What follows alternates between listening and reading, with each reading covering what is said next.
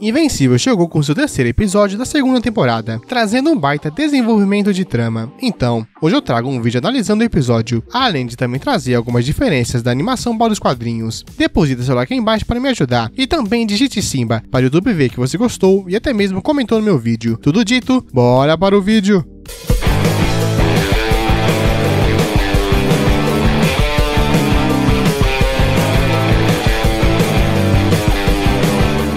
Mark finalmente inicia a faculdade. Nos quadrinhos não me recomendo, e acho que nem tem tanta cena assim na faculdade. Lá, Mark apenas começa na faculdade e fica por isso. A faculdade é bem pouco explorada nos quadrinhos, e aparentemente vão explorar um pouco mais na série. No final da cena também temos Deb ligando para aquele número que Yoga deu para ela. Como dito, a série deu uma pequena focada na vida de Mark na faculdade, com ele jogando seus colecionáveis fora e tendo uma cena mais picante com Ember, mas logo a cena corta. Temos uma longa cena contando a história da raça de Alien, os Unupan, como eles foram atacados pelos Viltrumitas e como sobreviveram. Também temos um resumo da história de Alien. E tudo isso é bem semelhante ao que é mostrado na edição 23 de Invencível. Algo interessante é que a logo do episódio mudou, saiu de Invencível para Alien The Alien, já que essa primeira parte do episódio teve bem mais foco no Alien do que no Invencível. Temos uma segunda cena onde Alien conversa com os líderes da coalizão de planetas. Alien conta toda a história de Mark e de Omni-Man, o que deixa parte do conselho incrédulo, mas o líder, Taedos, está um pouco mais otimista com tudo aquilo. Toda essa cena de discussão acontece nos quadrinhos e é de forma bastante semelhante. Depois temos uma cena onde não tem nos quadrinhos, com Taedo se aproximando para comentar com Alien sobre um possível traidor. A suspeita nos quadrinhos acontece só depois, mas adiantaram essa suspeita logo de início. Allen volta para sua casa e Telly estava esperando ele. Também algo parecido acontece nos quadrinhos. Dá para ver que a série está sendo bem fiel, tendo apenas algumas mudanças, como de visual dos personagens, e outro exemplo é Telia.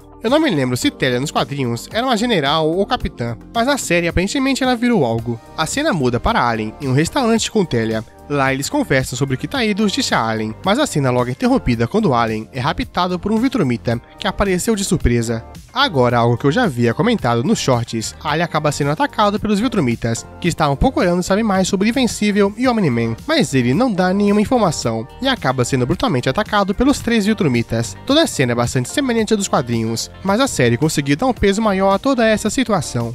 Alien fica em coma pelos seus ferimentos, então Taedos vai conversar com Telia, dizendo que cuidaria de Alien. Porém, agora veio uma mudança na série. Taedos vai e desliga as máquinas de Alien, algo que não acontece nos quadrinhos. Isso me deixou bastante surpreso. Será que a série vai mudar a trama e deixar o Taedos como um vilão? Bom, é esperar para ver. Após isso, digamos que o episódio de Alien acaba, então vamos para os Guardiões do Globo. Lá, Rex e Duplicate discutem. Rex continua sendo babaca, e ele então descobre o motivo de Duplicate estar com o Imortal, que é mais ou menos porque o Imortal morreu tanto quanto ela, então eles se entendem bem. Logo, Supermorpho entra na sala de treinamento e começa a treinar bem entre aspas. Essa cena, pelo que me recordo, não existe nos quadrinhos. A cena então troca para Robô e Menina Monstro. Eles conversam sobre o robô querer perder o medo e controlar ele melhor, dizendo que o medo é inútil. Menina Monstro discorda, e quando ela iria embora, Robô convida ela para ir no cinema, dando assim início ao possível relacionamento dos dois.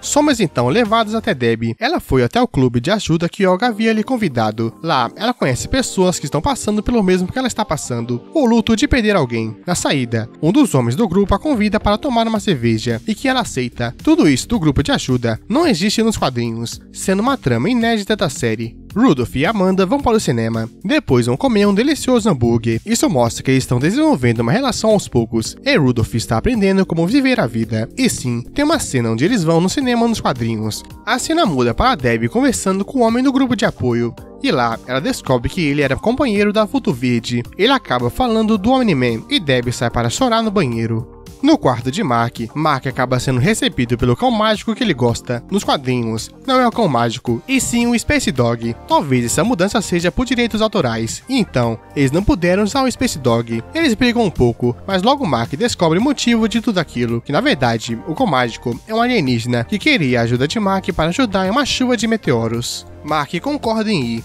então, ambos partem juntos. Cícia não quer que Mark vá, mas ele vai mesmo assim. Antes de ir, se despede de Amber e pede para que ela avise sua mãe. Tudo isso é bem parecido com os quadrinhos, mas tendo claramente o Space Dog trocado pelo cão mágico. A cena volta para Debbie, que revela ao homem do grupo, que eu não lembro o nome, que seu marido era o Omni-Man. Ele fala que é melhor que ela nunca volte para o grupo de ajuda. E então Debbie acaba o episódio meio que sozinha, pois seu filho está no espaço e não tem nenhum companheiro na Terra, talvez só a Olga.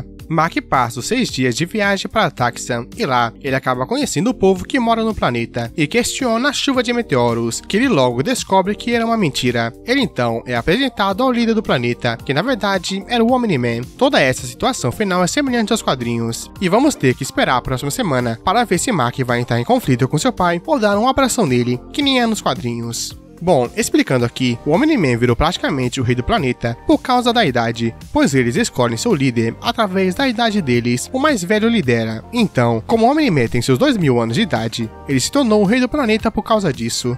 O episódio foi um pouco mais lento que o anterior, sendo um episódio mais para a apresentação de Alien e também para desenvolver mais a sua história. A série agora mostra mais algumas mudanças dos quadrinhos, como a cena de Taedos desligando a máquina de Alien e Deb no grupo de ajuda, e agora com Space Dog sendo trocado pelo Cão Mágico. Um fato é que até agora, Brit, um personagem dos quadrinhos, não apareceu invencível. Será que ele vai aparecer na trama futuramente? Bom, é esperar para ver. O episódio foi bom, mesmo tendo sido um pouco mais lento. Agora é esperar para ver como as coisas vão se desenrolar a partir disso. E também o episódio não termina com alguma cena pós-crédito. Acho que todos os episódios anteriores terminaram com a cena pós-crédito, mas esse terminou com a cena final de Omni-Man, o que convenhamos é um bom final e não precisa de pós-crédito. Acredito que o próximo episódio seja mais focado no Omni-Man, contando o que ele fez após sua saída na Terra. Também devemos ter uma reconciliação entre Mark e Nolan. Além de claro, já temos apresentados o irmão de Mark, Oliver, como também alguns vidrumitas indo para o planeta para atacar Mark e Nolan. Mas e aí, curte o episódio e o vídeo? Se sim, deposita seu like aí embaixo e digita Simba para melhorar o engajamento e me ajudar a crescer mais e mais, rumo aos 5 mil inscritos. Tudo dito, até a próxima!